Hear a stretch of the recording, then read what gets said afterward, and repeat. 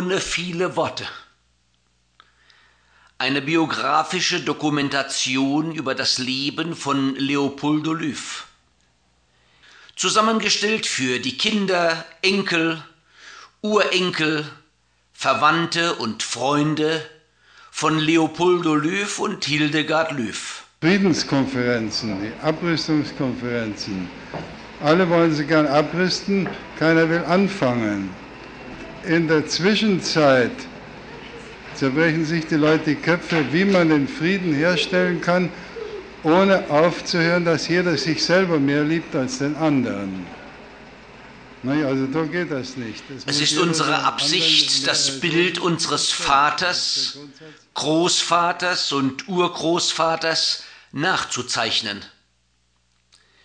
Leopoldo Löw wurde am 11. Februar 1902, also vor fast genau 100 Jahren, in São Leopoldo im Staat Rio Grande do Sul in Brasilien geboren. Um das Leben von Leopoldo Löw besser zu verstehen, ist es nötig, dass wir uns in die Geschichte um 30 Jahre vor seiner Geburt zurückversetzen und zwar in die Stadt Prag, der damaligen Hauptstadt des Königreichs Böhmen in der österreichisch-ungarischen Monarchie.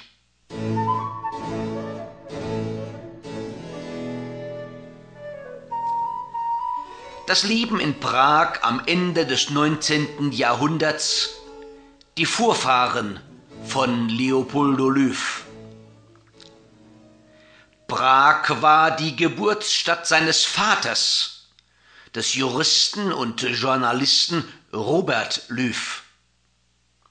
Robert Löw wurde im Jahr 1872 in der Stadt Prag geboren. Die Familie wohnte im Stadtviertel Smichow, das besonders von deutsch sprechenden Familien bewohnt wurde. Schon der Großvater, auch mit Namen Leopold Löw, war ein Nachkomme aus der Gruppe deutscher Landsleute, die bereits im 14. Jahrhundert als Staatsbeamte an den Hof des Kaisers Karls IV. kamen, der aus der Stadt Prag die schönste Stadt des Heiligen Römischen Reiches deutscher Nation der damaligen Zeit gemacht hat. Die folgenden vier Jahrhunderte hindurch war der deutsche Einfluss in Prag maßgebend.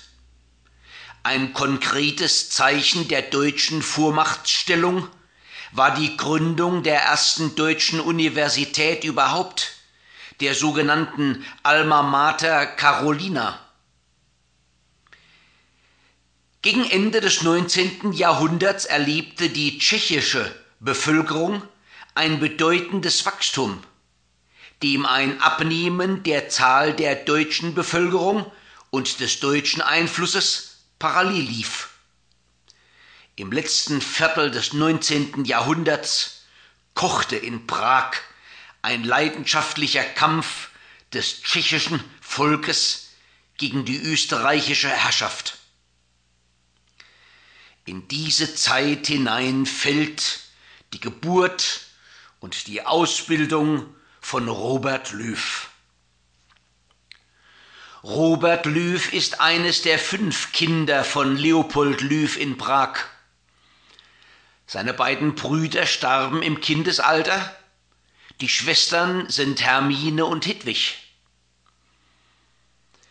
In der Zeit, in der in Prag Robert Löw geboren wurde und heranwuchs, lebte dort der Dichter Franz Kafka. Es ist die Zeit, in der auch der Physiker Albert Einstein in Süddeutschland zur Welt kommt. Sowohl Einstein als auch Kafka sind jüdischer Abstammung. In jener Zeit verbreiten sich in Europa der industriellen Revolution die utopischen Gedanken von Gleichheit und Brüderlichkeit, die schon eine Generation davor durch Karl Marx und Friedrich Engels gepredigt worden waren. Diese Männer werden hier genannt, um das Leben von Robert Löw in die Geschichte an der Wende des 19. zum 20. Jahrhundert einzuordnen. Der Kaufmann Leopold Löw konnte es sich leisten, seinen Kindern eine gute Ausbildung angedeihen zu lassen. So konnte der Sohn Robert im Jahr 1895 mit 23 Jahren das Jurastudium abschließen und noch im selben Jahr den Doktorgrad erwerben. Dem frisch gebackenen Doktor des Rechts stand nun die Tür offen für eine Karriere als Staatsbeamter oder im Diplomatendienst. Robert Löw entschloss sich aber für ein Leben mit mehr Unabhängigkeit. Offenbar der bürokratischen, engherzigen und wohl auch engstirnigen Maschinerie des Staatsapparates überdrüssig, tritt er eine Anstellung in einer Advokaturskanzlei an. Auch hier hätte der Jurist eine gute Karriere vor sich gehabt. Aber im Januar 1900 erklärt er zu allgemeiner Überraschung kategorisch, ich bleibe nicht mehr hier in Europa, ich wandere nach Brasilien aus. Zur Entscheidung zur Auswanderung scheint besonders die Atmosphäre des Rassenhasses in Prag beigetragen zu haben, die der Anlass zur Ausreise für viele der schon nicht mehr zahlreichen Prager Deutschen war. Er wird auch der Grund gewesen sein, dass später seine beiden Schwestern sich ebenfalls in Wien niedergelassen haben. Nicht weniger wichtig für die Entscheidung zur Auswanderung war auch die Propaganda für Brasilien durch Dr. Hermann Mayer, einem bekannten Buchhändler und Verleger aus Leipzig. Hermann Mayer hatte wenige Jahre vorher in Südbrasilien die Kolonien Ervalsico und Neuwürttemberg gegründet, letzterer heute als Panambi bekannt. In Brasilien sollte Robert später engen Kontakt zu dieser Kolonie pflegen, als seine Söhne dort die höhere Schule besuchten. Ein anderer gewichtiger Grund zur Auswanderung war wohl auch der Widerstand seiner Familie gegen seine Heirat mit einem Mädchen katholischer Konfession. Die Familie Löw in Prag gehörte nämlich zur jüdischen Glaubensgemeinschaft. Besagtes Mädchen, Julia Anna Herock, war im Jahr 1876 in dem Städtchen Schwarzwasser in Polen geboren worden. Von dort siedelte die Familie bald nach Mährisch-Ostrau, einer Stadt in Österreich. Diese Gegend war schon am Ende des 19. Jahrhunderts stark industrialisiert mit Stahlwerken und der Gewinnung von Steinkohle.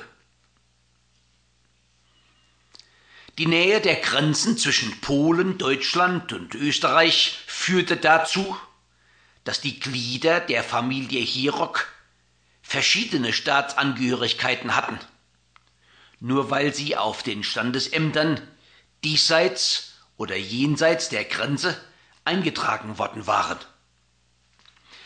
So verkehrte die Familie Herock zum Beispiel in den Städten Biala, Teschen und Skotschau an der Grenze zwischen Polen und Österreich. Das brachte mit sich, dass Julia Herock neben ihrer deutschen Muttersprache fließend Polnisch sprechen lernte. Robert und Julia haben sich wahrscheinlich in Wien kennengelernt, wo sie als Hausmädchen angestellt war. Sie und ihre Geschwister mussten schon früh helfen, mitzuverdienen um der Armut im Elternhaus zu begegnen.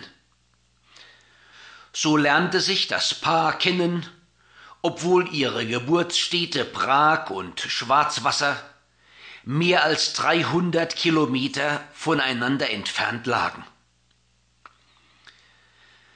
Jedenfalls sehen wir im Jahr 1900 Robert Löw und Julia Anna Löw frisch verheiratet nach Brasilien auswandern und sich dort in der Wiege der deutschen Einwanderung der Stadt São Leopoldo in Rio Grande do Sul niederlassen. Dort übte Robert den Beruf eines Rechtsanwaltes aus. In Begleitung des Ehepaares kam Julias jüngerer Bruder Josef Herock.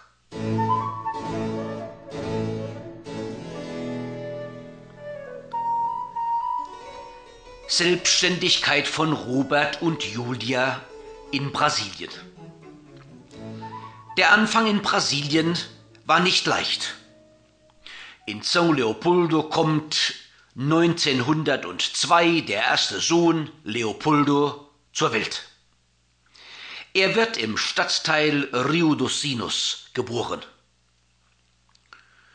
Schon in den ersten Monaten in Brasilien fühlte sich Roberto Löw, der im neuen Land seinem Vornamen ein portugiesisch klingendes O anhängte, in seinen Prinzipien von Wahrheit und Gerechtigkeit vergewaltigt als ein Klient ihn um seine Vertretung vor Gericht in einem moralisch zweifelhaften Fall bittet. Das führte dann dazu, dass er eine Anstellung in einer Kolonisationsfirma in Pirapó annahm, wo die Familie die nächsten zwei Jahre blieb. Dort wurde der zweite Sohn, Wolfgang, im Jahr 1904 geboren. In Pilapor hatte Roberto Löw den ersten Kontakt mit dem Problem der Isolation der deutschen Kolonisten und mit der Kolonisation des Serra-Gebietes überhaupt. Mit dem Tod des Journalisten Carlos von Koseritz im Jahr 1905 in Porto Alegre kam an Roberto Löw die Einladung, auf einem Gebiet zu arbeiten, das ihm bis dahin völlig fremd gewesen war, nämlich das des Journalismus.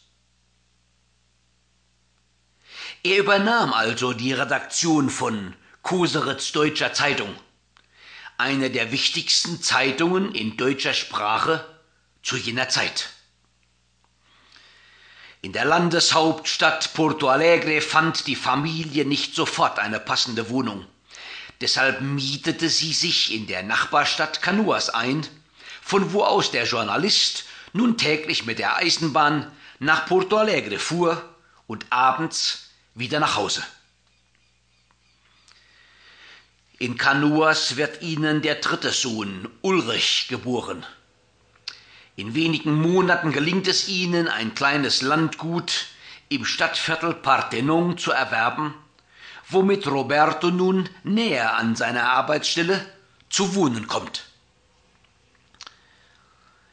Während seiner Zeit als Redakteur der Koseritschen Zeitung, die unter seiner Leitung den Namen Neue Deutsche Zeitung annahm, entdeckte Roberto Löw seine wahre Berufung, nämlich den deutsch-brasilianischen Kolonisten zu helfen, in ihrer neuen Heimat einen Platz zu finden, an dem sie sich nützlich fühlen und sich selbst achten konnten. Dazu half ihm die Kenntnis der Geschichte sowie der Rechts- und Politikwissenschaften. In jener Zeit keimte in Roberto Löw bereits die Gewissheit, dass er seine eigene Zeitung gründen müsse. Diese sollte aber nicht in der Hauptstadt herausgebracht werden. Das Blatt sollte im Innern des Landes herauskommen. Dort, wo die Leser wohnten, die er mit seinen Überzeugungen erreichen wollte. In Porto Alegre wurde noch der jüngste Sohn, Otto, geboren. In Porto Alegre traf Frau Julia Löw eine wichtige Entscheidung. Sie zog mit den drei jüngeren Kindern für ein Jahr nach Santa Cruz do Sul, wo Dr. von Ortenberg einen Hebammenkursus durchführte. Bei dieser Gelegenheit machte sie sogar ein acht Monate langes Praktikum in Lignamonte Alverne.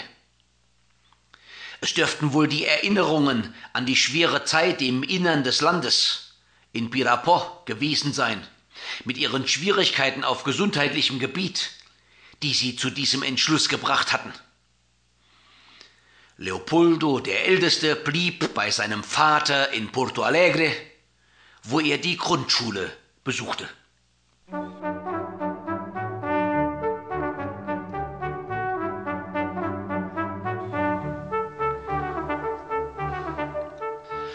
Im Jahr 1911 wurde die große Entscheidung getroffen. Die Familie zog ins Landesinnere, und zwar nach Cruz Alta, wo am 12. Mai die erste Nummer der Serra Post erschien, einer Wochenzeitung für das Rio Grandenser Serra-Gebiet und für die deutsch-brasilianische Kolonie. Die Stadt Cruz Alta wurde als provisorischer Sitz der neuen Zeitung gewählt. Aber schon ein Jahr später wurde die Eisenbahnlinie bis nach Santo Angelo fertiggestellt, was die endgültige Einrichtung des Verlagshauses von Roberto Löw in Ijuí ermöglichte. Anfangs mietete er dazu ein Haus, das später gekauft werden konnte. Dort erschien dann die Serra-Post und später der Correo Sereno und sollte die nächsten 60 Jahre der wöchentliche Begleiter der deutschstämmigen Kolonisten auf der Serra sein.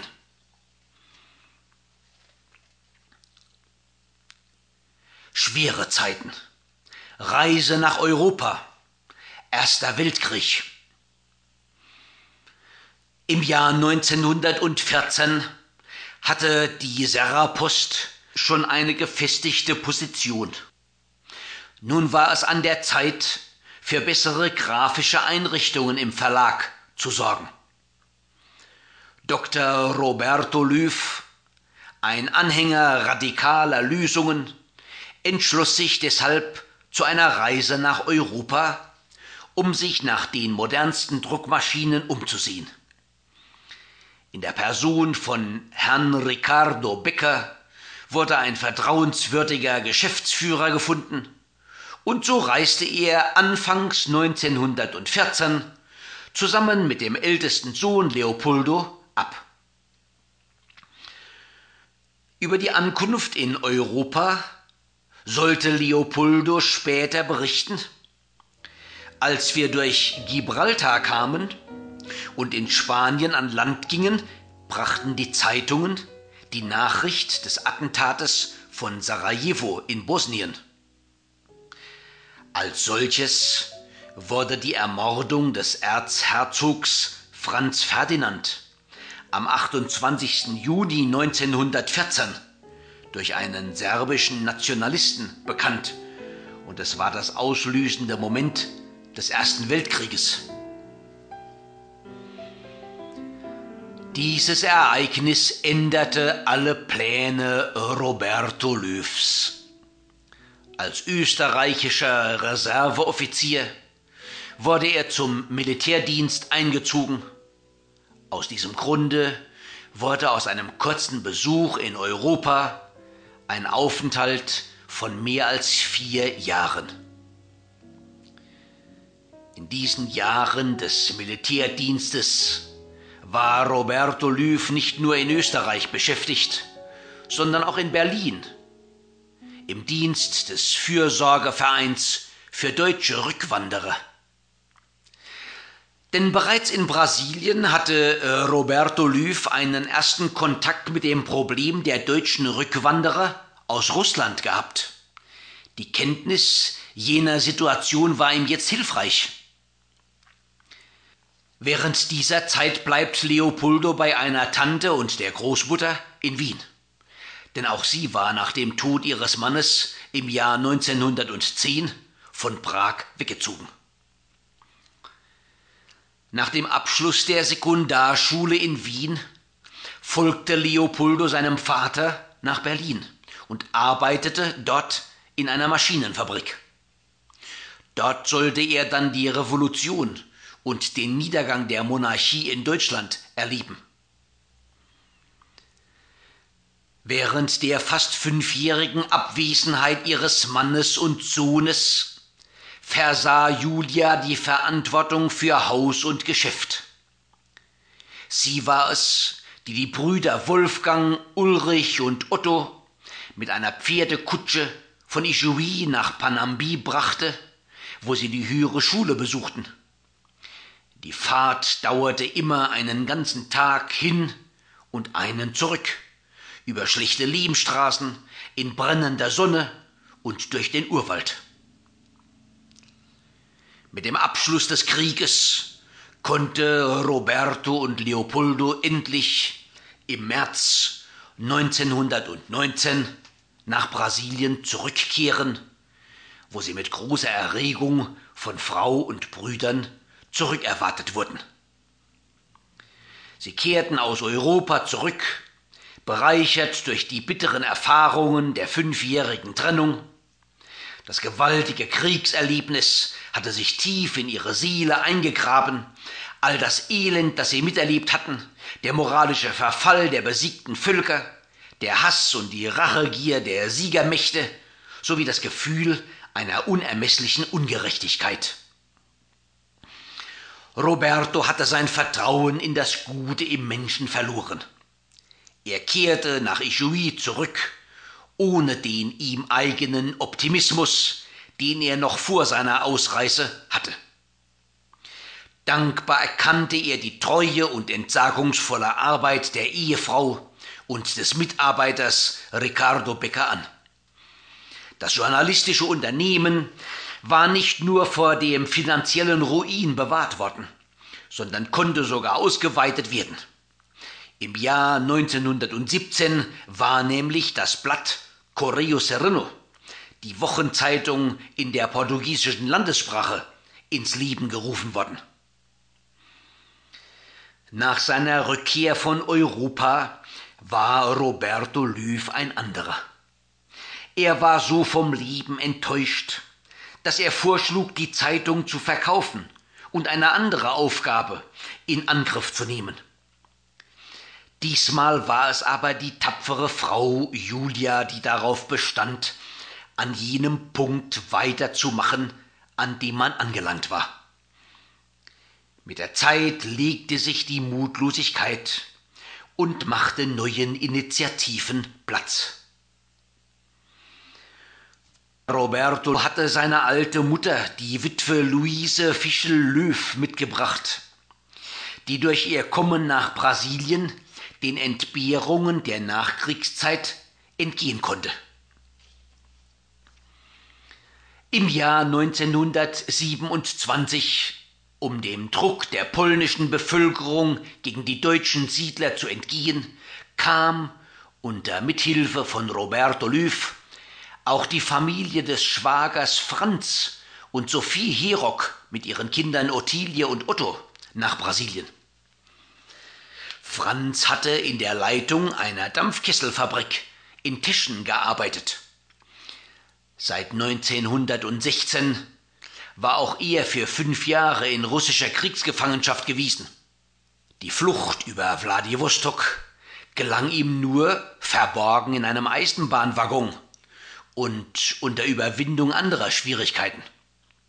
Franz zog mit seiner Familie in die kurz zuvor gegründete Kolonie Porto Feliz, heute Mundai, fand aber später in Palmira das Missões seinen endgültigen Wohnsitz.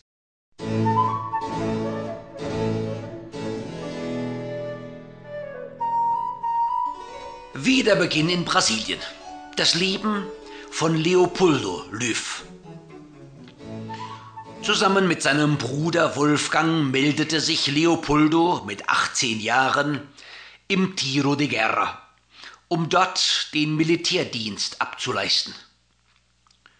Noch vor Verlauf der vorgeschriebenen Dienstzeit wird Leopoldo freigestellt, um Ende 1921 ein Studium zum Maschinenbauingenieur in den Vereinigten Staaten von Nordamerika zu beginnen.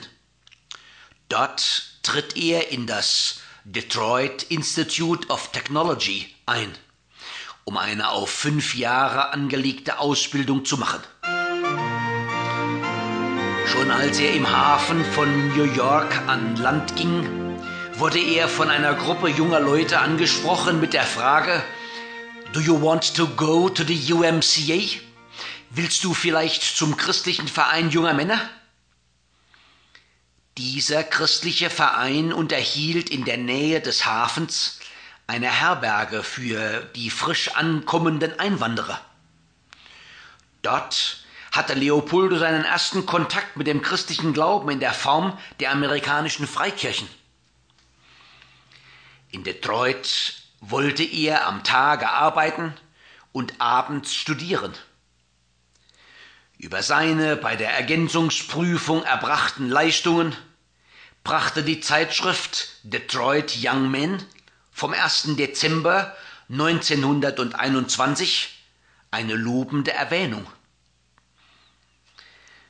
Es kam aber die Zeit, in der der Unterhalt in den USA, selbst mit Hilfe der Eltern in Brasilien, über seine Kräfte ging und er sich gezwungen sah, das Studium abzubrechen und nach Deutschland hinüberzuwechseln. Dort tritt er 1922 in das Technikum Strelitz in der Nähe von Berlin ein. In dieser Zeit hat Leopoldo seinen ersten gründlicheren Kontakt mit der Bibel. Er kauft sich eine Taschenbibel und liest sie von der ersten bis zur letzten Seite, besonders während der langen Fahrten zwischen seinen Wohn- und Arbeitsorten. Dieses Interesse für die Bibel sollte ihn durch das ganze Leben begleiten und er sollte sie in verschiedenen Sprachen besitzen, etwa auf Französisch, Englisch, Spanisch, Schwedisch, Deutsch, Portugiesisch sowie in verschiedenen Übersetzungen in Englisch, Deutsch und Portugiesisch. Im Laufe des Jahres 1923 bekommt Leopoldo Besuch von seinen Eltern, die eine erneute Reise nach Europa machen. Bei dieser Gelegenheit trifft der Vater äh, Roberto Löw noch einmal, es sollte das letzte Mal in seinem Leben sein, seine Schwestern in Wien. Von diesem Treffen besitzen wir nur dieses, etwas schlechte Foto. Hedwig und Hermine sind wahrscheinlich auch später Opfer des nationalsozialistischen Holocausts geworden. Es ließen sich nämlich keine Nachweise über die Existenz ihrer Familien ausmachen.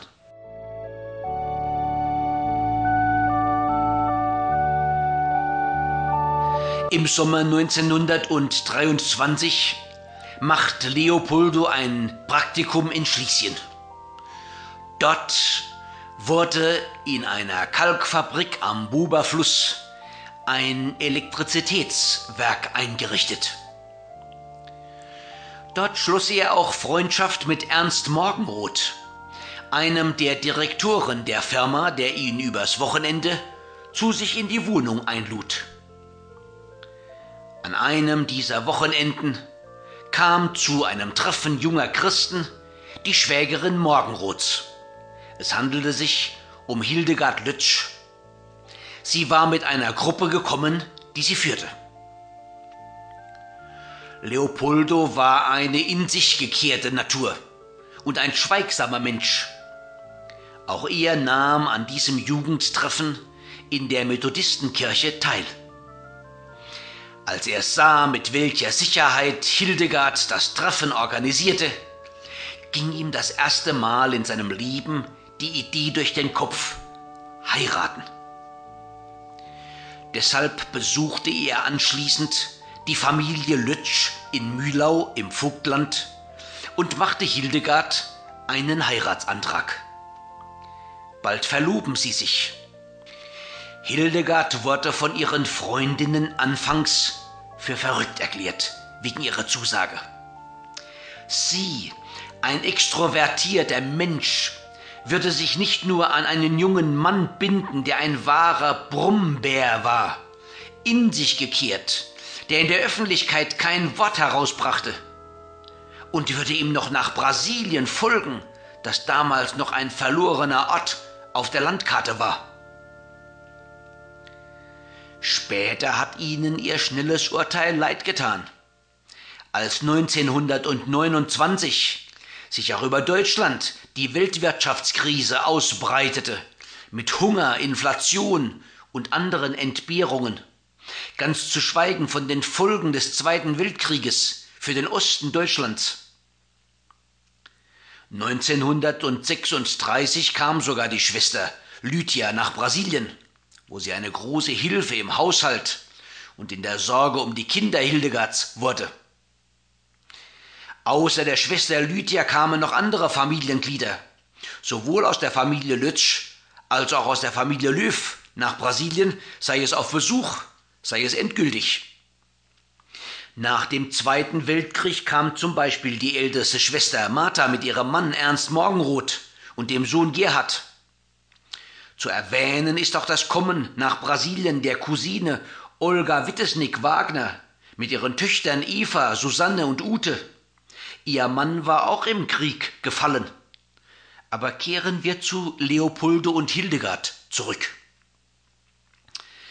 Wegen seiner Verlobung mit Hildegard muss Leopoldo vorzeitig seinen Aufenthalt in Deutschland unterbrechen.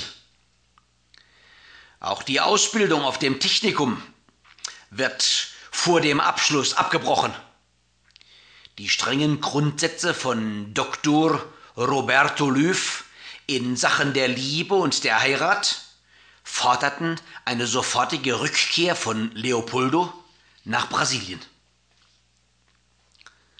Anfang 1924 kehrte Leopoldo von Deutschland nach Brasilien zurück.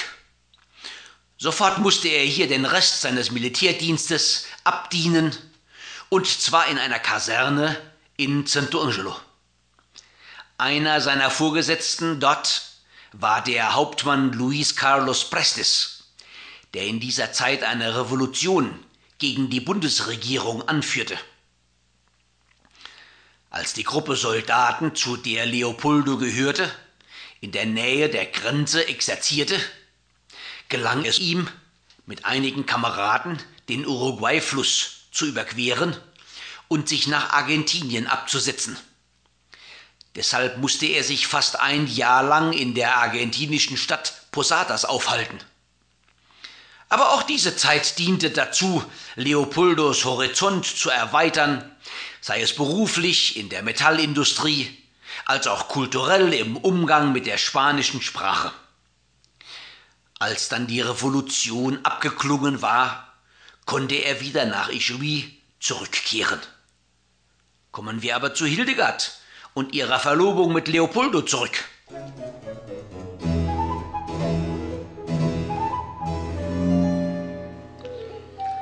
Die Heirat mit Hildegard Johanna Lütsch hing vom Einverständnis des Vaters Roberto Löw ab. Dieser hatte einige exotische Ehen zwischen brasilianischen jungen Männern mit deutschen Mädchen beobachtet, für die sich die Familien schämen mussten. Deshalb war er zunächst auch gegen das Kommen von Hildegard. Ein wenig aus Hildegards Geschichte. Hildegard war in der sächsischen Stadt Mühlau im Vogtland geboren. Als jüngstes von acht Geschwistern. Die älteste Schwester, Martha, war, wie wir schon sahen, mit dem Freund Ernst Morgenroth verheiratet. Hildegards Vater war von Beruf Weber. Er bemühte sich um eine gute Erziehung für seine Kinder. Dazu gehörte, dass er zum Beispiel darauf bestand, dass im Haus Hochdeutsch gesprochen wurde und nicht der sächsische Dialekt. Er war es auch, der um die musikalische Bildung der Kinder bemüht war und viele Instrumente spielte und sich im Gesangchor und im Posaunenchor seiner Kirchengemeinde engagierte. Im Haus galten strenge moralische Maßstäbe. Als zum Beispiel die Schwester Lina schwanger wurde, ohne verheiratet zu sein, entschied sie, das Kind der Schwester Martha zur Adoption zu geben. Sie selbst aber legte sich ein Exil in den Vereinigten Staaten von Nordamerika auf. Die Vorfahren von Hildegard gehörten der evangelischen Kirche an. Im Jahr 1892 entschieden sie sich aber, aus Gewissensgründen, in die evangelisch-methodistische Kirche überzutreten. Von dort sollte Hildegard die Achtung zur Bibel und zum Gebet mitbringen. Aus dieser Kirche hat sie auch die Liebe zur geistlichen Musik und zum Gesang mitgebracht, die ihr späteres Leben kennzeichnen sollte.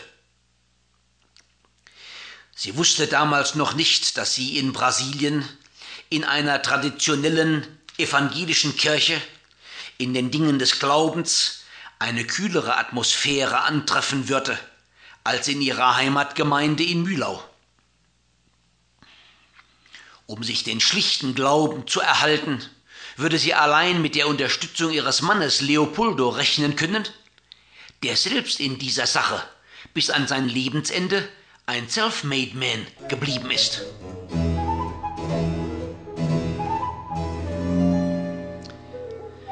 Drei Jahre hat es gedauert, bis Leopoldo seinen Vater davon überzeugen konnte, dass Hildegard für ihn die richtige Lebensgefährtin sein würde, so dass dieser für sie die Überfahrt bezahlte.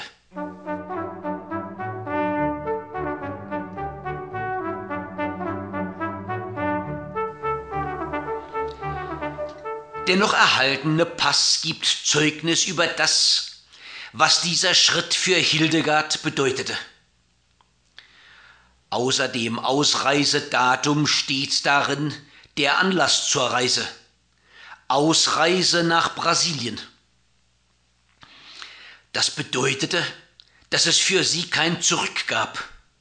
Der Schritt in die Ehe war endgültig. Er enthielt nicht die Alternative, mit der heute viele junge Leute heiraten, dass man diese Entscheidung rückgängig machen kann. Der Schritt musste entweder gelingen oder gelingen.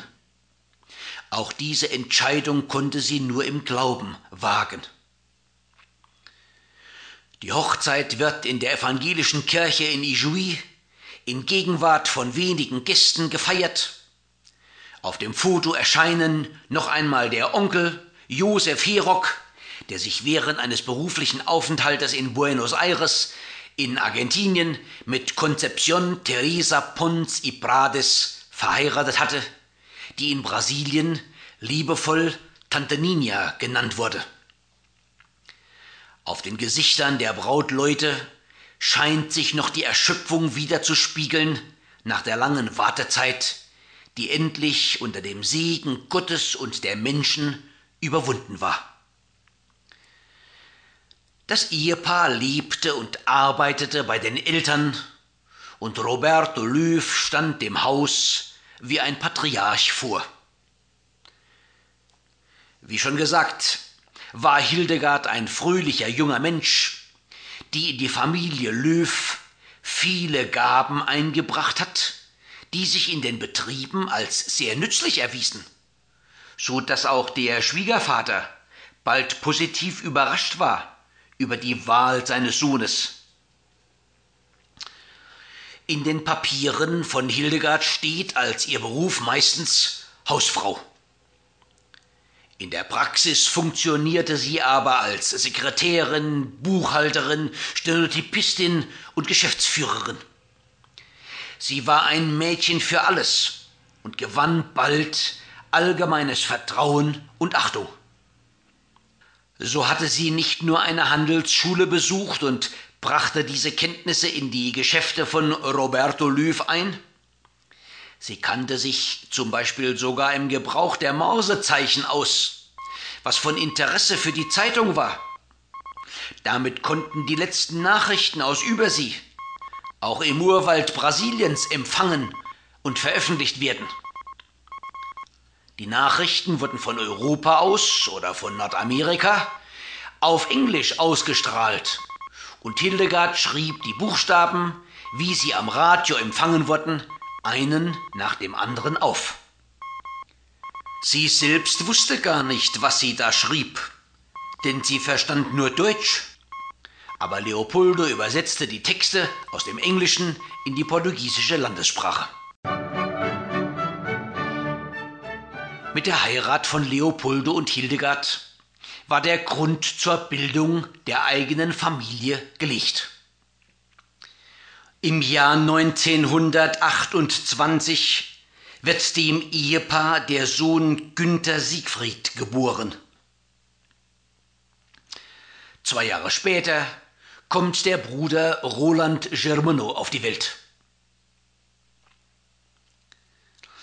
Im Jahr 1931 wird in Ijuí unter der technischen Leitung von Leopoldo das erste Gebäude mit einer Struktur aus Stahlbeton erbaut ein doppelstöckiges Haus mit Keller, dessen erstes Stockwerk als Wohnung für die Familie vorgesehen war. Erdgeschoss und Keller wurden für die Druckerei verwandt. Das Dachgeschoss enthielt einen großen Speicher und eine großzügig angelegte Veranda, von der aus man einen Überblick über die Stadt Ijuí hatte. Die Zeitung Correo Serrano und ihr deutsches Pendant, die Sacherpost, blieb die Hauptaufgabe von Dr. Roberto Löw. Ihretwegen wurden andere Arbeitszweige neben ihr gegründet, die sich aus der Verlagsarbeit ergaben. Einer davon war die Livraria Serna, die Buchhandlung, der eine Abteilung mit Schreib- und Papierwaren angegliedert war. Viele Jahre war dieses Geschäft ein wichtiger Treffpunkt für die Ijuienser Kultur. Mit der Zeit erweiterte sich auch der Geschäftszweig der Druckerei und des Offset-Druckes, mit dem schon leichter und besser ein Vierfarbendruck möglich war.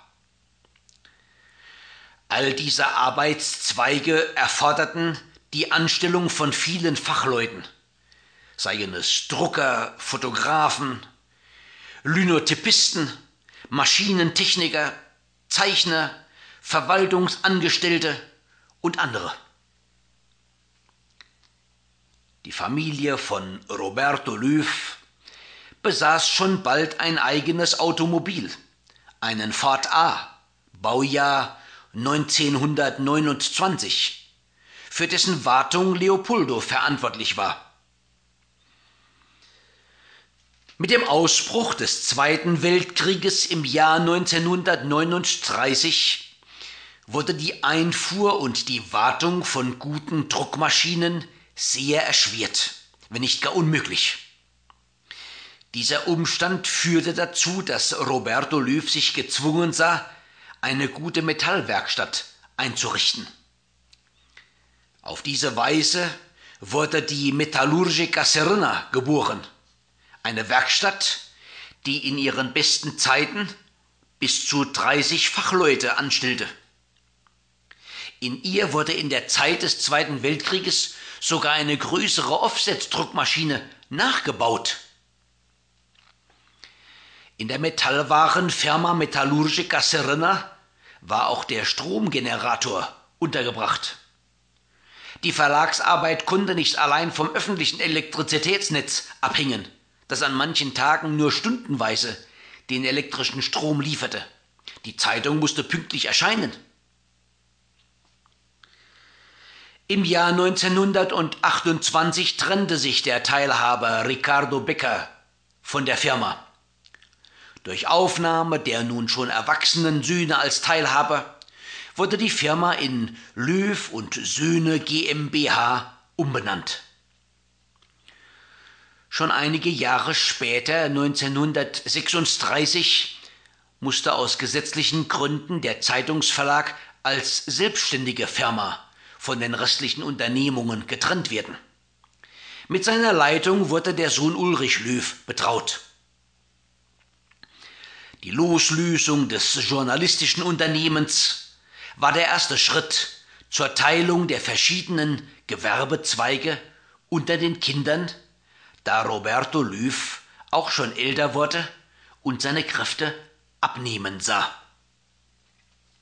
Die völlige Umstrukturierung erfolgte im Jahr 1947, vier Jahre nach dem Tod des Gründers 1943. Die Offset-Druckerei mit der angeschlossenen Metallwerkstatt Metallurgica Sirna wurde vom Sohn Leopoldo übernommen. Wolfgang und Otto übernahmen die Holzschneidemühle und Sperrholzfabrik in Turvo und in Ijuy.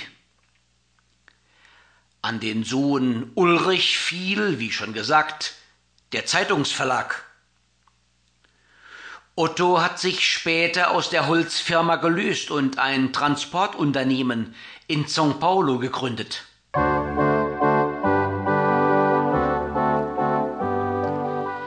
Familie von Leopoldo Löw. Im Laufe der Jahre fanden auch Leopoldo und Hildegard ihren eigenen Platz im Leben. Die Spielsachen der älteren Kinder Günther und Roland hatten die Geschäftswelt der Eltern zum Vorbild. Hier sehen wir Roland auf einer Dresine. Der zukünftige Ingenieur lernte schon als Kind, dass sich alle Maschinen aus einfachen Bauteilen zusammensetzen. In dieser Zeit hat Leopoldo als Hobby das eines Radioamateurs. Es handelte sich um einen Versuch, den Kontakt zur Welt in Nordamerika und Europa aufrecht zu erhalten.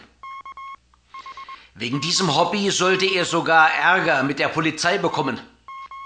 Irgendein Neider hat ihn in der Kriegszeit als Besitzer eines heimlichen Radiosenders denunziert und ihn vielleicht als nationalsozialistischen Spion angezeigt, was ja niemals der Fall war. Sein Identifikationszeichen war PY3DB. Auch Leopoldo hat sich in dem Gebrauch der Morsezeichen geübt. Vor und während des Zweiten Weltkrieges, in der Zeit der nationalistischen Verfolgungen, musste sich jeder Bürger für jede weitere Reise einen besonderen Polizeiausweis ausstellen lassen. Unter den von Leopoldo und Hildegard erhaltenen Dokumenten befinden sich mehrere solcher Reiseausweise. Am Anfang des 20. Jahrhunderts besaß man normalerweise kaum Ausweispapiere. Diese wurden nur für den Fall einer längeren Reise ausgestellt. Man lebte aber auch in einer Atmosphäre des politischen Misstrauens, das von Seiten der Regierung eine schärfere polizeiliche Kontrolle zur Folge hatte. Die allgemeine Unruhe in der damaligen Welt sollte dann den Zweiten Weltkrieg auslösen. Sogar der Besitz eines einfachen Radioempfängers musste offiziell beim Postamt eingetragen werden. Im Jahr 1937 wird die Tochter Sigrid Hedwig geboren, mit einem Altersunterschied von sieben Jahren zum Bruder Roland. In Europa zogen die dunklen Wolken herauf, die schließlich zum Krieg führten. Lydia war noch 1936 nach Brasilien zu der Schwester Hildegard gezogen. Ihr Verlobter war im Ersten Weltkrieg gefallen und sie blieb ledig. Sie wurde eine wichtige Hilfe für Julia Löw nach dem Tode von Roberto Löw. Der Bruder Kurt blieb als einziges noch lebendes Glied der Familie Lötsch in Mühlau. Kurt übernahm das Haus, das den Eltern gehört hatte. Mit der Gründung 1949 der Deutschen Demokratischen Republik lebte er dann kinderlos, isoliert in der ostdeutschen Heimat. Im Jahr 1942 wird der Familie Leopoldo und Hildegard Löw die Tochter Maria Luisa geboren, das vierte Kind des Ehepaares.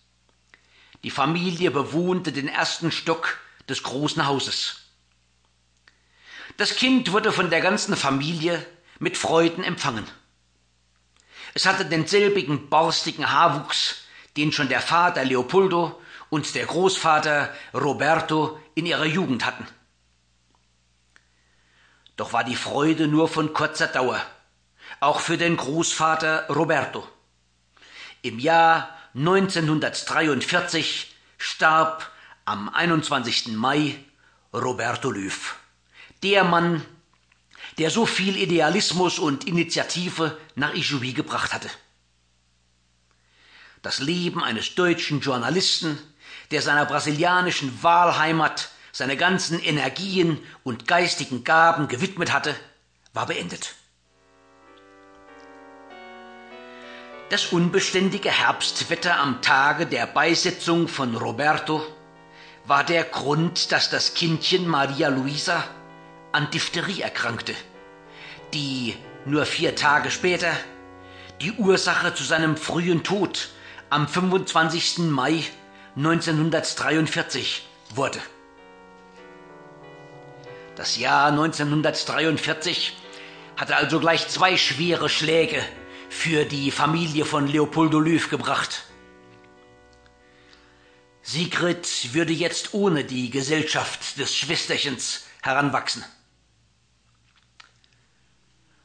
Aber noch im selben Jahr 1943 wurde die Tochter Astrid Julia geboren. Sie war es, die die Aufmerksamkeit ihrer Umwelt noch einmal auf das Weitergehen des Lebens lenkte. Als einer ihrer Taufpaten konnte aus Porto Alegre der Botaniker Alarich Schulz gewonnen werden, der hier mit Brille zu sehen ist. Außer ihm wurden auch die Brüder Günther und Roland, die kurz vorher konfirmiert worden waren, als Taufpaten herangezogen. Dies sollte aber nicht die letzte Geburt im Hause von Leopoldo Löw gewesen sein. Zwei Jahre später, 1945, kam die letzte Tochter zur Welt, Ingrid Lydia. In Europa kam der Zweite Weltkrieg zu seinem Ende. Dieser Umstand brachte auch für Brasilien eine Zeit für neue Initiativen. Überall war eine Stimmung des Neuanfangs. Auch in Ijuí brach man auf zu neuen Taten. Die Söhne Günther und Roland schlossen ihre Ausbildung ab.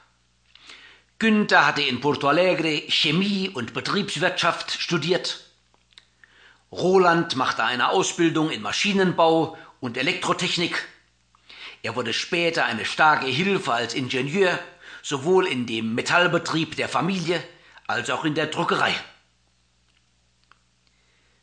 Günther heiratete kurz nach Abschluss seiner Ausbildung in Porto Alegre Nilda Porto, um bald danach in die Direktion des Druckereibetriebes gewählt zu werden.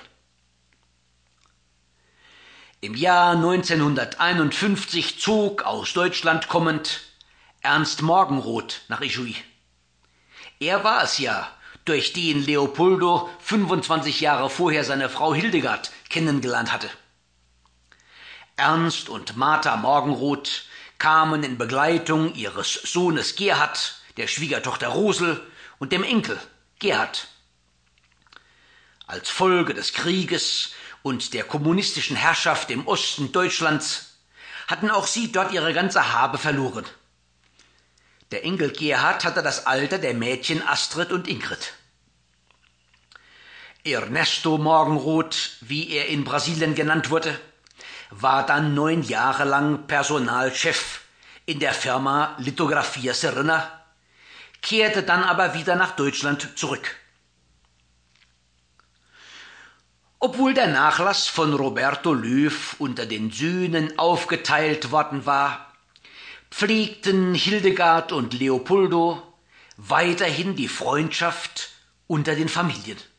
Etwa wie hier, wo man sich auf der Chakara im Haus von Julia Löw traf. Zu sehen sind Brunhilde, Ulrichs Frau, Tante Nutti, die zweite Frau des Witwers Josef Herock und von hinten Hildegard. Der 70. Geburtstag von Julia Herock Löw im Jahr 1946 war Anlass, die Kinder und Schwiegerkinder um sich zu versammeln. Auch von den Enkeln mit der 70-jährigen Großmutter ist diese fotografische Erinnerung erhalten. Insgesamt zählte man 18 am Leben gebliebene Enkel. In der Familie von Leopoldo war es der Sohn Günther, der sich dem Hobby der Fotokunst zuwandte. Ihm sind viele der hier gezeigten Amateurbilder zu verdanken. Zum Beispiel dieses Bild von der Schwester Ingrid, für das Günther mit dem ersten Preis in einem Wettbewerb des Fotoclubs in Ijoui ausgezeichnet wurde. Oder auch dieses Bild, auf dem Astrid zu sehen ist, die einem durstigen Porzellanhund zu trinken gibt. Oder diese Erinnerung an das Weihnachtsfest 1949, das man besonders für die Jüngsten im Haus zubereitet hatte und zu dem Tante Lydia und die Großmutter Julia zugegen waren. Von der Terrasse auf dem dritten Stock des Hauses hatte man Aussicht über Ichoui hinweg, von der Firma Ford von Leopoldo Hepp bis hin zum Krankenhaus. Die Geburtstagsfeiern in der Familie waren immer Anlass zu Besuchen bei der Umama und Gelegenheiten zu Fotoaufnahmen.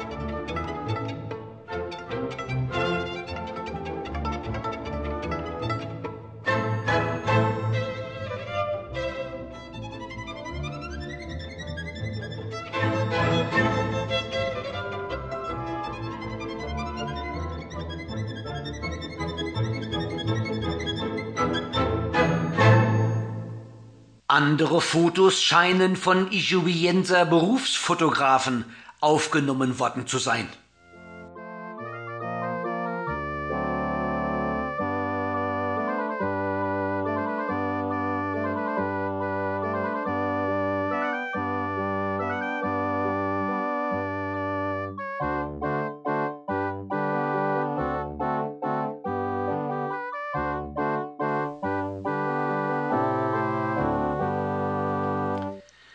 Im Jahr 1952 vollendete Leopoldo das 50. Lebensjahr. Anstatt an eine Pensionierung zu denken, wie so viele Menschen in diesem Alter in unserer Zeit, brach er zu neuen Ufern auf, die ihn die nächsten 30 Jahre hindurch beschäftigen würden.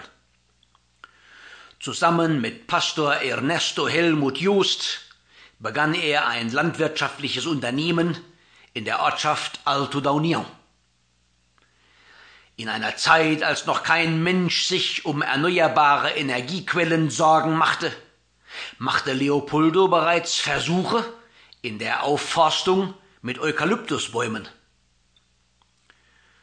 Dort machten sie auch Versuche mit einer Schweinezucht. Der in Ijuí vorhandene Schlachthof Frigorifico Serrano förderte diese Initiativen. Zwei Jahre später mieteten sie eine größere Landfläche im Nachbarmunizip Cruz Alta, wo sie mit einer mechanisierten Landwirtschaft anfingen und besonders Weizen und Sojabohnen anpflanzten. Zu diesem Zweck wurde die Gesellschaft durch die Aufnahme der Teilhaber Edgar Geis und Pastor Rodolfo Schneider erweitert. Als die Granja Rio Branco, wie das Unternehmen genannt wurde, sich 1957 zum Kauf eigener Ländereien entschloss, schieden die Teilhaber Geis und Schneider wieder aus. Seitdem wurde das Landwirtschaftsunternehmen von den beiden Teilhabern Leopoldo Löw und Pastor Ernesto Just geführt, während als Aufseher Osvaldo Frankelin da Silva, ein Neffe Justs, fungierte. In der Landwirtschaft versuchte Leopoldo stets wissenschaftlich vorzugehen. Er wollte von der handwerklichen Landwirtschaft der Rio Grandenser Kleinbauern in den alten Kolonien wegkommen zu moderneren Anbaumethoden.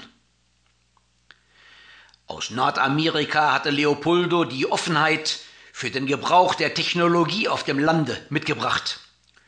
Dort hatte er nämlich bereits in den 20er Jahren eine mechanisierte Landwirtschaft kennengelernt, mit der unvermeidlichen Konsequenz der Abwanderung vieler Landwirte in die Städte. Gegen Ende der 60er Jahre wurde in Ischui die Genossenschaft für Weizen, die Cooperativa Triticola Serena, gegründet, die später der Stolz der Stadt werden sollte. Diese Genossenschaft hatte einen bedeutenden Einfluss auf die Entwicklung der Landwirtschaft in Ischui und der Rio Grandenser Serra. In dieser Genossenschaft gehörten Leopoldo Löw und Ernesto Just zu den Gründern und Leopoldo hatte in ihr eine der größten Einlagen. Er sagte sich, dass eine Kooperative Girokapital brauche, um gut funktionieren zu können. In der Granja Rio Branco war Leopoldo Löw ein Pionier, was die Bodenaufbereitung mit Kalk betrifft, die die Nutzung des nährstoffarmen Kamplandes für den Ackerbau erst möglich machte. Der rote Boden der Kamplandschaft produzierte bis dahin fast nur wertloses Gras, das nur mangelhaft für ein wenig extensive Viehzucht diente. Er war auch einer der ersten, die sich die technologischen Errungenschaften auf dem Gebiet der Direktpflanzung, die Abwechslung in der Benutzung des Bodens, Nivellierungskurven und andere Bemühungen im Blick auf die Erhaltung der Bodenfruchtbarkeit zunutze machten. Die Bemühungen der Weizengenossenschaft in der Einführung neuer Kultursorten fand in Leopoldo Löw immer jemanden, der für Neuerungen offen war so zum Beispiel bei Versuchsprojekten für Raps oder Sonnenblumen.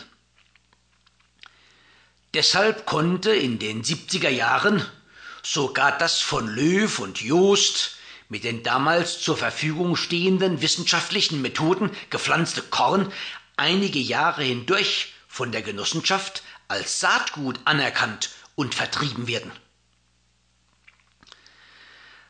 als der inzwischen verwitwete Pastor Ernesto Joost 1962 nach Deutschland heiratete, verwaltete Leopoldo allein das landwirtschaftliche Projekt, das in jener Zeit zu einem Gut herangewachsen war mit 920 Hektar Land, sieben Traktoren, vier Erntemaschinen, Lastkraftwagen, Getreidelaster und anderen Maschinen und das etwa 15 Angestellte beschäftigte.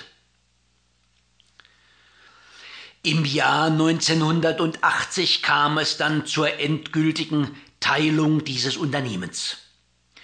Damit kam eine 30-jährige Geschichte von gegenseitigem Vertrauen, Freundschaft und der Arbeit der beiden Gevattersfamilien Löw und Joost zu ihrem Ende. Rückblickend stellen wir fest, dass die Granja Rio Branco der mit größtem Erfolg verwaltete Betrieb von Leopoldo Löw gewesen ist. Durch die Landwirtschaft konnte nicht nur der Teilhaber Just seinen Kindern die akademische Ausbildung bezahlen. Auch den Kindern von Leopoldo und Hildegard konnte entscheidend geholfen werden bei dem Bau ihrer Häuser oder beim Kauf der damals noch sehr teuren Autos für die Ausübung ihrer Berufe. Zu diesem Zweck machten beide noch mit 70 Jahren eine Reise nach Brasilia, Leopoldo und Hildegard, um dort der Tochter Sigrid einen der Wagen zu übergeben.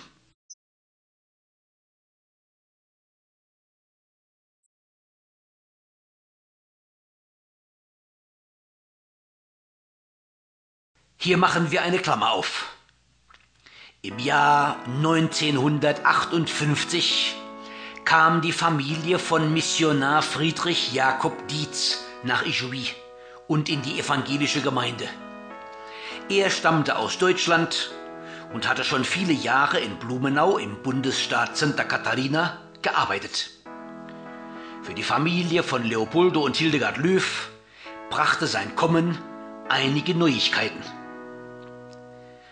Einmal brachte er nach Ijoui den Geist des deutschen Pietismus, den Hildegard in ihrer Jugend und ihrer Heimatstadt Mühlau erlebt hatte.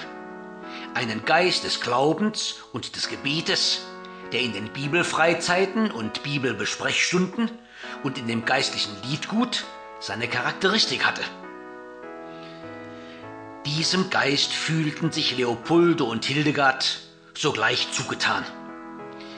Die tägliche Bibellese am Morgen jeden Tages während des Chimarrón hatten sie schon während ihres ganzen Lebens gepflegt. Auch die Töchter Astrid und Ingrid teilten das Interesse der Eltern am Glauben an Christus innerhalb der Gnadauer Brasilienmission. Ihr geistliches Wachstum geschah besonders in der Arbeit an Kindern im Kindergottesdienst und in der Gitarrenarbeit unter der Leitung von Ida Dietz. Zur Familie des Missionars gehörten aber auch die Söhne Emil und Werner, die einige Zeit hindurch etwas Unruhe in das Leben der Familie Löw gebracht haben.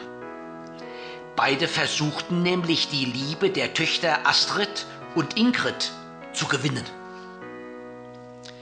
Astrid und Emil haben sich im Jahr 1964 verheiratet. Emil hatte einige Jahre am Aufbau einer kleinen Industrie gearbeitet, die sich auf die Bedruckung von Holzartikel spezialisiert hatte und in ihrer besten Zeit über zehn Angestellte beschäftigte. Mit Emil bekam die Lithografia Sirna einen Mitarbeiter, auf den die Eigentümer einige Jahre hindurch große Hoffnungen setzten. Ingrid und Werner haben im Jahr 1969 geheiratet, nach einer siebenjährigen Wartezeit. Als Pfarrer der evangelischen Kirche lutherischen Bekenntnisses in Brasilien blieben er und Ingrid nicht in Ijuí, sondern wurden in den Pfarrbezirk Getulio Vargas entsandt.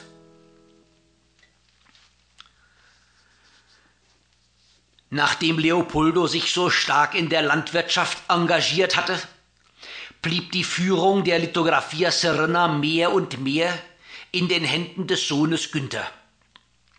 Die Firma, wie sie liebevoll von Hildegard genannt wurde, hatte auch ihre eigene Entwicklung. Sie ging ja auf die Einrichtung der ersten Offset-Maschine im Jahr 1928 zurück, mit der Roberto Löw den Schutzumschlag seines Sarapust-Kalenders in vier Farben gedruckt hatte.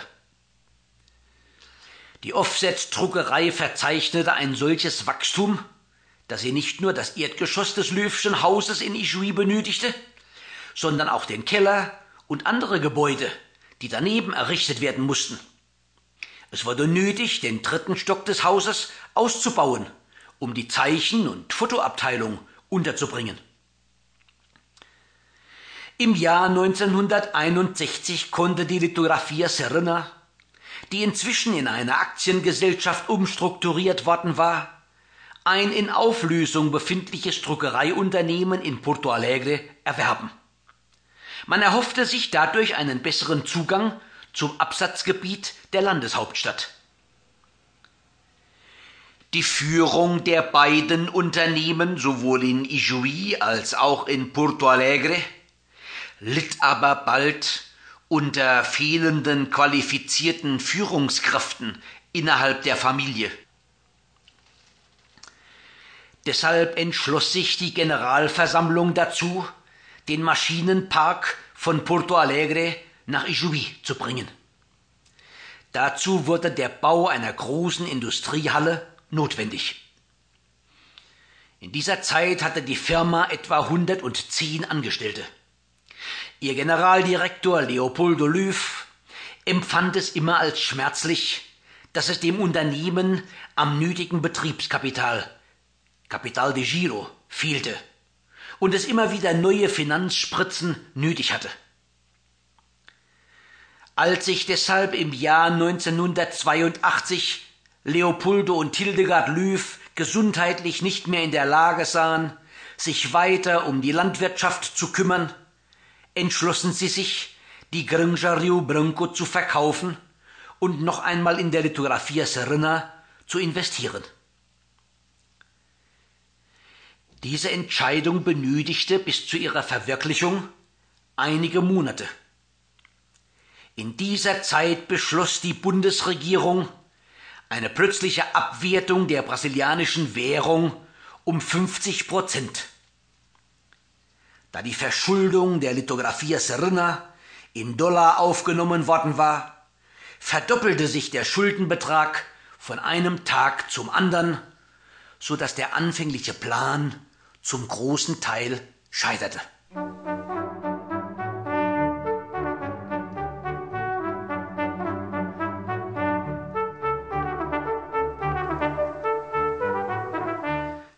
Wenden wir uns aber noch einmal dem persönlichen Leben der Familie zu. Im Jahr 1977 konnte Leopoldo und Hildegard Löw ihre goldene Hochzeit feiern. Bei diesem Ereignis waren alle Kinder anwesend. Die Feier bot Gelegenheit zu einem Rückblick auf das vergangene Leben. Ein Gottesdienst in der evangelischen Kirche von Ijuí versammelte die Familie und Freunde zu einer Feierstunde des Dankes und Lobes zu Gott. Tags darauf traf man sich zu einer Feier im Turnverein. Bei dieser Gelegenheit wurden zum Andenken einige Fotos gemacht. Hier sehen wir die Familie des Sohnes Günther und seiner Frau Nilda mit den Kindern Roberto, Riccardo, Karin, Paolo, Christine, Leopoldo und Claudia. Aus San Leopoldo war der Sohn Roland mit seiner Frau Clälia angereist. Ihre Kinder sind Roland Junior, Simone und Thomas. Nach dem Tod seiner Frau Clälia im Jahr 1994 hat sich Roland mit Edelma Tomasi verheiratet. Sie ist die jüngere Schwester von Clälia. Aus Toronto in Kanada, wo sie im brasilianischen Diplomatendienst stand, war Sigrid mit ihrer Tochter Alice Elena angereist. Ihr Ehemann Arnaldo Alves Pereira konnte leider nicht an dem Treffen teilnehmen. Astrid und ihr Ehemann Emil Dietz kamen von Curitiba angereist. Ihre Kinder sind Ulrich Andreas, Frank Thomas, Lydia Renate und Christina Claudette. Ingrid und ihr Ehemann Werner Dietz schließlich kamen aus Arabuteng im Innern von Concordia in Santa Catalina. Ihre Kinder sind Rolf Joaquin, Martin Timoteo, Christiane Dorothea und Markus Robert. Insgesamt zählte man 25 Nachkommen von Leopoldo und Hildegard Löw und der Kindern und Enkeln.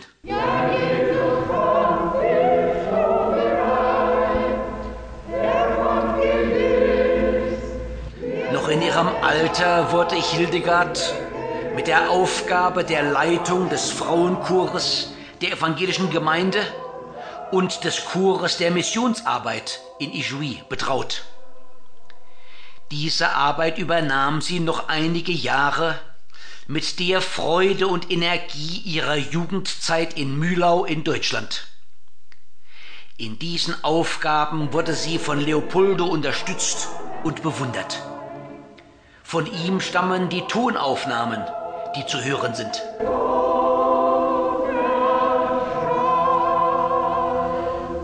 Durch ihre Heirat mit einem ausländischen Bürger hatte Hildegard ihre deutsche Staatsangehörigkeit verloren, ohne eine neue zu erwerben.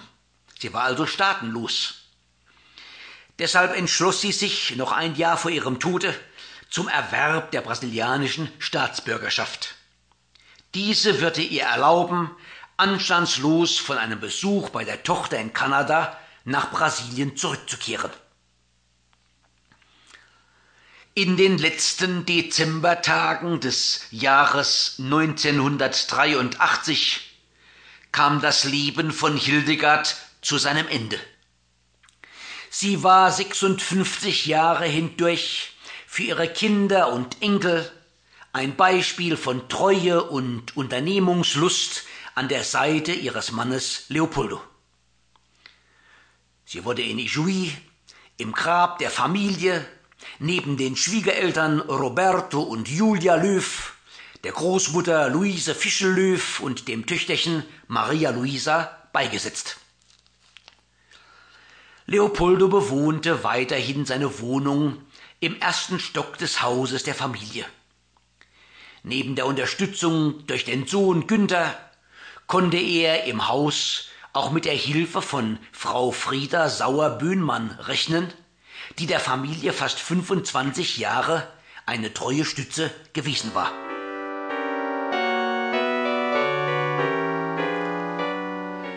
Im Jahr 1987 wurde die Familie durch den Tod des Sohnes und Bruders Günther überrascht. Dadurch verlor die Firma noch eine wichtige Stütze in der Geschäftsführung.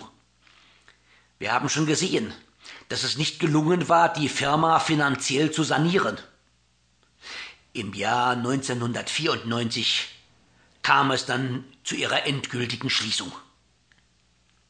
Die Entwicklung der Druckereikunst, die in Ijuí über 80 Jahre vorher 1911 durch den Gründer Roberto Löw begonnen hatte, war an ihr Ende gekommen. Leider ist es dem Bruder Roland, der neben dem Onkel Ulrich Löw die Verantwortung für die Lithografie Serena übernommen hatte, nicht mehr gelungen, die Situation zu retten. Von einem Tag zum anderen verloren fast 100 Angestellte ihre Arbeitsstelle.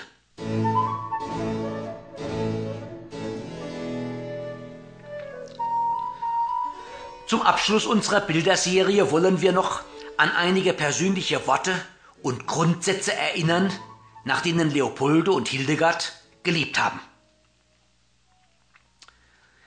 Hildegard zum Beispiel hat ihre Kinder immer ermahnt, nie auf Abzahlung oder auf Kredit zu kaufen, sondern nur das Geld auszugeben, das man in Bar besitzt. Es war dies ein Grundsatz, den sie in ihrem Elternhaus gelernt hatte, wo man bescheiden zu leben wusste. Leopoldo wusste zu warten, bis er an der Reihe war. In den Versammlungen der Firma oder der Kirche hob er geduldig die Hand und wartete, bis er das Wort ergreifen konnte.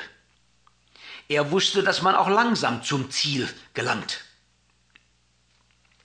Er war ein Mann, der sich an Grundsätze hielt und sich nicht von vordergründigen Absichten leiten ließ. Wenn ihn jemand unter Druck setzen wollte, indem er sagte, wenn Sie nicht den oder jenen aus der Firma entlassen, dann werde ich gehen, antwortete Leopoldo ruhig, es tut mir leid, dass du deine Entscheidung schon getroffen hast, du kannst dann gehen. Ein anderer Grundsatz war der, eine Sache muss auf eine kurze Entscheidung reduziert werden können. Wenn jemand ein Anliegen hat, das er nicht auf ein einziges Blatt Papier zu bringen vermag, dann kann er nicht mit einer schnellen Entscheidung rechnen. Es war dies wohl noch ein Überbleibsel aus der in seiner Jugend in Nordamerika verliebten Zeit, wo er den amerikanischen Pragmatismus erlebt hatte. was einem seiner zukünftigen Schwiegersöhne, der die Braut in ihrem Haus besuchen wollte, beeindruckt hat, war Leopoldos Ausladung und seine Erklärung über Hurerei. Er sagte wörtlich, wenn ihr als Menschen mit Gottesfurcht meint, einander zu gehören, dann ist das etwas Gutes. Wartet jetzt geduldig bis zu eurem Hochzeitstag. Zärtlichkeiten, die in der Ehe ihren legitimen Platz haben, sind Hurerei, wenn sie vorweggenommen werden. Solange die Zeit dafür nicht gekommen ist, haltet durch die Post Verbindung zwischen euch. Es war wieder der Rat eines Menschen, der in seinem Leben abwarten gelernt hatte. Leopoldo war kein Mann von vielen Worten, aber was er sagte, das wurde gehört und hatte Gewicht. Sein geistliches Vermächtnis an seine Kinder war in seiner Todesanzeige vom 28. März 1988 so zusammengefasst. Ich möchte euch gut informiert wissen.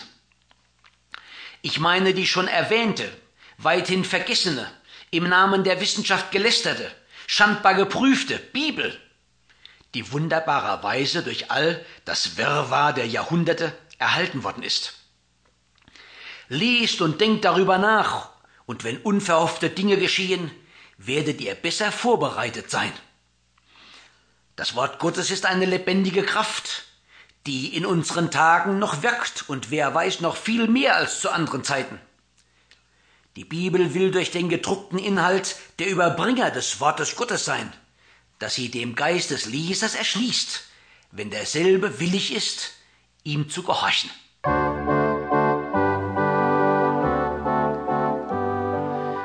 Als Witwer verbrachte Leopoldo viele Wochen in den Häusern seiner Kinder. Noch mit 82 Jahren machte er eine Reise nach Moskau, wo die Tochter Sigrid beruflich tätig war. Bei dieser Gelegenheit besuchte er noch einmal die Stadt Wien, in der er im Hause seiner Tante und Großmutter einen wichtigen Teil seiner Kindheit verliebt hatte. Im Jahr 1988 kam dieses Leben mit 86 Jahren zu seinem Ende. Auf die vielen, sowohl guten wie schweren Erfahrungen hat unser Gott anscheinend seine Fürsorge und seinen Segen gelegt. Voller Dank denken die Kinder und Enkel an diesen und an alle anderen Vorfahren den Nachfahren ein authentisches Ideal zu überliefern, dem nachzueifern für diese ein erstrebenswertes Ziel sein soll? Dies wollte Martin Fischer, als er sich daran machte, das Leben von Roberto Löw zu seinem hundertsten Geburtstag zu beschreiben. Diese wichtigen Worte lassen sich gewiss auch auf das Leben von Leopoldo und Hildegard Löw anwenden. Denn auch dieses Ehepaar kann in vielen Beziehungen seinen Nachkommen als Anregung und Beispiel dienen, besonders was den Gehorsam, die Bescheidenheit und das Leben aus dem Glauben betrifft.